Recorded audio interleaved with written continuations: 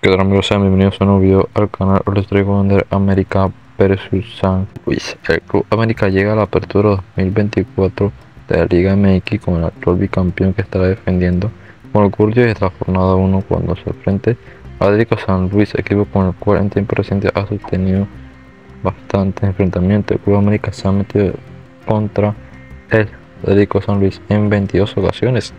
La apertura 2012 el 2013 donde las águilas ejercen un mayor dominio sobre los potasinos, al registrar 14 victorias, 4 empates y únicamente 4 derrotas. El Club América se ha presentado en el Estadio Alfonso Lastra 11 veces tomando en cuenta tiempo de preferencia mencionado, de las cuales en 7 ocasiones han triunfado, igual que dos duelos y perdiendo en dos partidos, mientras que los 11 enfrentamientos de las águilas en los locales han enseñado 27 goles, recibiendo 12 dianas Además, los azucareros también garantizan 7 triunfos.